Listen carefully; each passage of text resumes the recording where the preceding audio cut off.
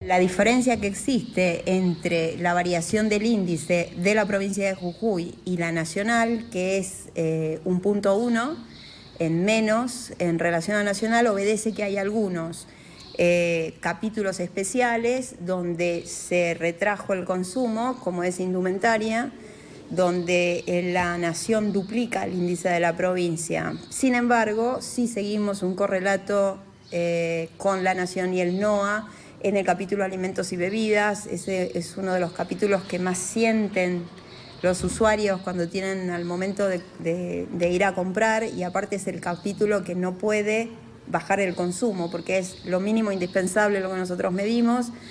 Eh, alimentos y bebidas ha tenido un incremento de 5,4 en el mes de octubre en relación al mes de septiembre si lo comparamos con el NOA, tuvo una suba de 5,5 y a nivel nacional 5,9 alimentos y bebidas.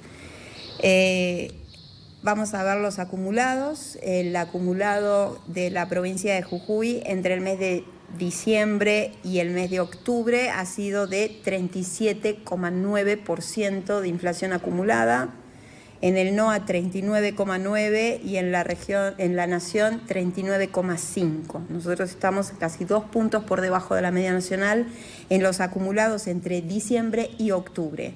Ahora, cuando nosotros observamos los acumulados entre el mes de octubre del año 2017 y octubre del año 2018, la provincia de Jujuy tiene un acumulado de 44,7% de inflación el no a 45,0% y la nación 45,9%.